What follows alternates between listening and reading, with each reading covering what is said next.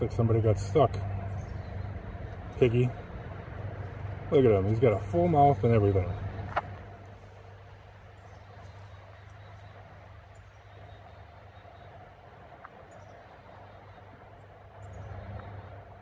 How'd you get in there, dude?